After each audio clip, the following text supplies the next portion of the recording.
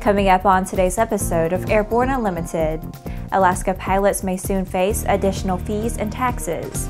Lockheed Martin test pilot reaches 100 hours in the T 50A. And FAA proposes revision to AD for some Turbo Bonanza airplanes.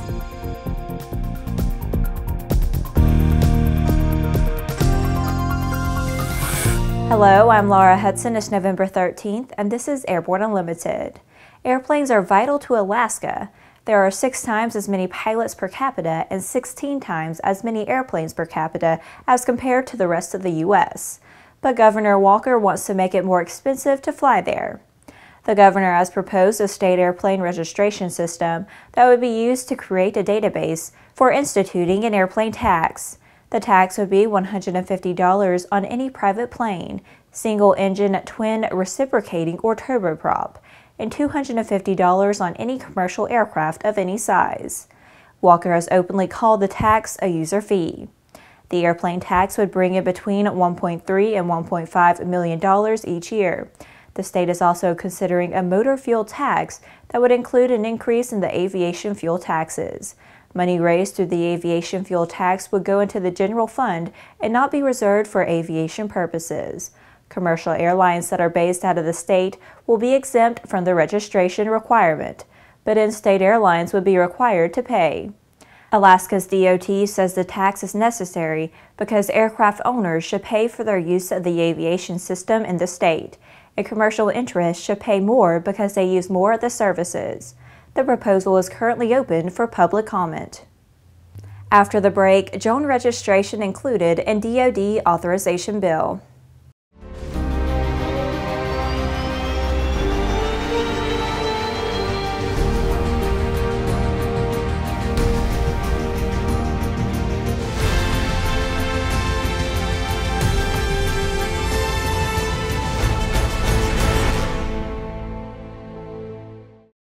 Concorde's recombinant gas RG series sealed battery technology produces a high performance battery with the advantages of being pre tested and fully charged at the factory. Find out more about Concorde's entire line of batteries at www.concordebattery.com. Concord, the heart of your aircraft. The dream is real. A truly affordable personal jet aircraft. The SubSonex Personal Jet Kit is priced at only $42,000. Kit plus engine is still under 100K. Add instruments, upholstery, and paint and you're flying. It's time to put your money where your bucket list is. Learn more at sonexaircraft.com. Welcome back. If you would like to be a supporter of Airborne Unlimited, send an email to jim at aero-news.net. With so much news coming out of the aviation industry, we're summarizing some other interesting stories in a brief segment we call Around the Patch.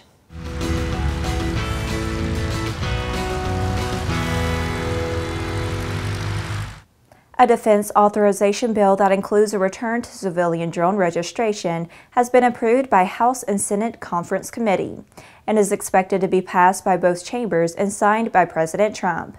The language is included in the National Defense Authorization Act of 2018. It would again require the registration of drones weighing more than about half a pound with the federal government. During U.S. President Donald Trump's visit to China, Juneyao Airlines reached an agreement with GE to order GEnx-1B engines to power its 10 Boeing 787-9 aircraft.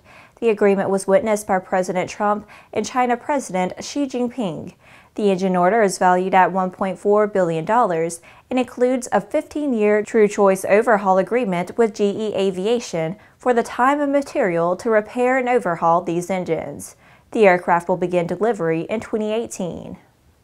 The 20-year-old Pasco, Washington man who was operating a drone that impacted the top of the Space Needle in Seattle on New Year's Eve 2016 has been charged with reckless endangerment and faces a fine and jail time. Cole Kelly was operating the drone that impacted an area near pyrotechnicians who were getting ready for a midnight fireworks show to ring in the new year. There were about half a dozen people on top of the iconic structure when the incident occurred. Two Canadian airlines have announced that they will be curtailing flights to St. Maarten in the Caribbean for the winter season due to damage caused by Hurricanes Irma and Maria. Princess Juliana International Airport suffered severe damage during Hurricane Irma in September. Repairs to the airport have been estimated at up to $100 million. It has been operating out of temporary facilities since reopening to commercial traffic on October 10th. Well, that's it for today's trip around the patch. Now let's move on to the rest of the news. Lockheed Martin test pilot Mark Red Ward reached a new milestone by becoming the first pilot to reach 100 flight hours in the T 50A. They are offering for the USAF's Advanced Pilot Training Competition. Ward passed the 100 hour mark shortly after takeoff from Greenville on the way to the 2017 Joint Base San Antonio Air Show and open house at JBSA Lackland Kelly Field Annex in Texas, which took place November 4th through 5th. In February 2016, Lockheed Martin announced the plans to offer the T-50A in the APT competition and build the aircraft at a final assembly and checkout facility in Greenville. The FACO and Operations Center formally opened in August 2016. Flight operations began at the Greenville site in November 2016 as the team worked toward a March 2017 proposal deadline and submission of the required flight test data at the end of June. The T-50A is ready on day one of the contract award and is purpose-built around fifth-generation thinking. It will train the U.S. Air Force's F-22 Raptor and F-35 Lightning II pilots of tomorrow, as well as pilots for frontline fourth-generation aircraft. After these messages, FAA proposes revision to AD for some Turbo Bonanza airplanes. There's a difference between charting a steady course and pushing for the ceiling. And for nearly a century, Hartzell Propeller has been defining that difference. It's in our passion for engineering and research and our dedication to testing the limits of performance. We are built on honor. We are Hartzell Propeller. Based on the popular Sling 2 LSA, the Sling 4 was designed to be the most practical and desirable lightweight four-place experimental aircraft on the market. Find out more about this 115 horsepower turbocharged airplane at airplanefactory.com.